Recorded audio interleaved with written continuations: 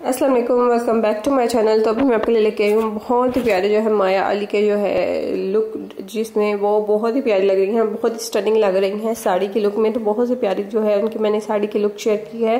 तो हमने video and तक लाजमी देखनी है और प्लीज़ अगर वीडियो अच्छी लगे तो उसको लाइक कर दें शेयर कर दें। चैनल पर नहीं है तो आप लाजमी इसको सब्सक्राइब करें और बेल के बटन को प्रेस करें ताकि मेरे आने वाली वीडियो की नोटिफिकेशन मिलती रहे। तो जी देखें मयाली जो है वो साड़ी के लुक में बहुत प्यार लग रही है। मेरे ख्याल से आप जितने भी पाकिस्तानी और इंडियन भी काफ़ी जो है वो पाकिस्तानी ड्रामे देखते हैं तो आप जो है मयाली को जानते होंगे। मुझे, मेरे ख्याल से उनको कोई भी तारफ़ का जो है ज़रूरत नहीं है। आप सब जानते हैं कि उन्होंने काफ़ी ड्रामों में जो है काम किया और मॉडलिंग भी करती हैं। और शी इज़ टर्निंग एक्ट्रेस और इन्होंने बहुत अच्छा काम किया है, बहुत से जो ड्रामे हैं इनके, जैसे मन मायल, बहुत से ड्रामे इनके बहुत अच्छे हैं और ये जो है बहुत ही प्यारी लग रही हैं। इन साड़ी की लुक में तो मैंने जो आपके साथ तो जी बहुत ही प्यारी लग रही है साड़ी की लुक में। तो आपने मुझे बताना है कि आपको सबसे ज़्यादा अच्छी लुक इनकी साड़ी में कौन सी लगी और कमेंट में ये भी बताना है आपको वीडियो कैसी लगी और ये भी बताया कि नेक्स्ट वीडियो में किस टॉपिक पर बनाऊँ मुझे आपकी कमेंट का वेट रहेगा।